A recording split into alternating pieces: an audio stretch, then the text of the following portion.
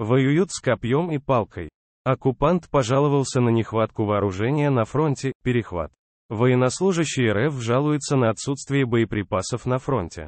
Он также ожидает отпуска для того, чтобы не вернуться воевать. Об этом сообщает РБК Украина со ссылкой на перехват, обнародовавший Главное управление разведки Минобороны Украины. По словам россиянина, Россия не предоставляет вооружение своим солдатам, поэтому им приходится воевать с копьем и палками. Сидите, рот закройте, автоматов нет. Чем на поле боя отберешь, тем и воюешь, говорит он. Оккупант рассказывает, что ожидает отпуска для того, чтобы уехать домой и не вернуться больше воевать. Ему безразлично, что он за это может попасть в тюрьму, как бы свалить, хотя бы отпустили, чтобы назад не ехал, говорит он. В разговоре с женой они обсуждают, что их знакомая начала делать для своих детей справки, чтобы они в будущем были непригодны для мобилизации. Перехват разговоров.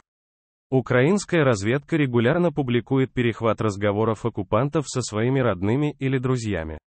Во время таких разговоров россияне рассказывают о реальном положении дел на войне против Украины, жалуются на большие потери и низкие выплаты. Ранее мы публиковали, что супруга русского военного рассказала, что с каждым днем ситуация на фронте для оккупантов ухудшается, также в рядах российских оккупантов растет паника и недовольство.